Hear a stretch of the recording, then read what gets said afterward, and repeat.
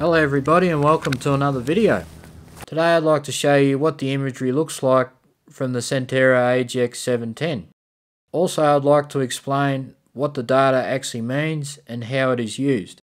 So let's get into it. Here is an example of a block of land I mapped using the Sentera AGX710. The reason why I chose this spot is because it has a varying degree of vegetation and drainage contours.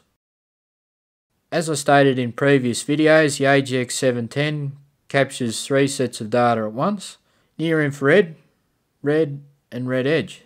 So what is near infrared? Near infrared is abbreviated as NIR and is part of the invisible electromagnetic light spectrum naturally produced by the sun. A healthy plant will reflect most of NIR light, and this is a biological safety mechanism in just about every plant species. NIR is particularly damaging to the plant cells responsible for photosynthesis. Inversely, an unhealthy plant will reflect little to no NIR, and this normally means that photosynthesis is either very poor or non existent. The level of reflectance is detected by the camera sensor. This photo you can see here is an original NIR photo from the MAP mission as you can see, healthy plants are represented as light grey. Stressed plants are dark brown. And highly stressed, dead or non-existent is a light tan colour. NIR reflectance imagery is very useful to determine plant health and density. So what is red light spectrum? Just like NIR, it is part of the invisible electromagnetic light spectrum and is also naturally produced by the sun. But its effect on plants is completely opposite. The red light spectrum is essential for photosynthesis. Healthy plants will readily absorb it for food and energy production. An unhealthy plant's capacity to absorb red is greatly reduced as the plant is damaged in some way.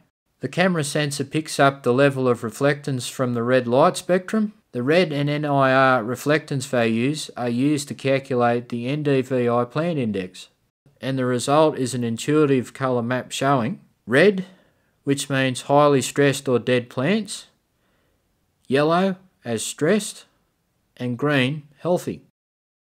The values are represented from plus 1 to minus 1 and as you can see how much area the individual indices cover. NDVI is exceptionally good for determining overall plant health and gives a great overview of the drainage situation. Alrighty then, what about red edge?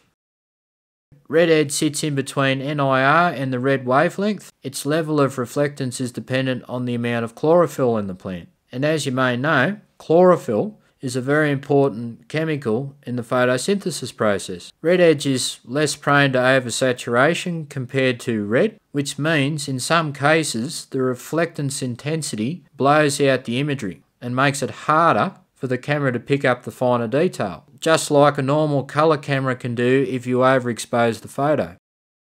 Because red edge is dependent on the chlorophyll amount, the reflectance is less intense allowing the camera to pick up the finer detail.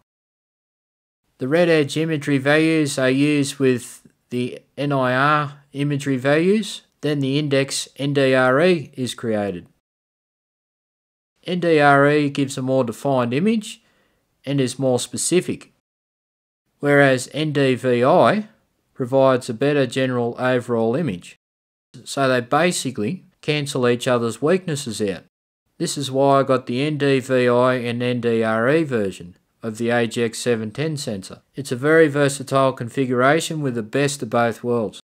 Now that's about all I have to say about plant mapping. The software I use to process the imagery is Sentera Field Agent. For the money, it is a very powerful program, especially if you're just doing plant mapping. I can create two-dimensional orthomosaics, and the orthomosaics aren't only limited to multispectral cameras. I created a true colour map with the images from my Zenmuse X5S camera. This provides a true colour comparison with the multispectral imagery. The other thing I like about Field Agent, you can set it up to sync the imagery periodically with Sentera's cloud network. This allows me remote access on any mobile device, which is brilliant for viewing generated orthomosaic maps and captured imagery. The software can do a range of other things as seen in this video, and I highly recommend it.